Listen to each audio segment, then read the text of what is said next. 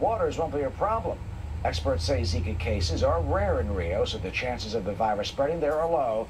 They also say those water pollution problems that they've had at some of the places in the arenas where the athletes will compete, they say those conditions are within limits set by the World Health Organization.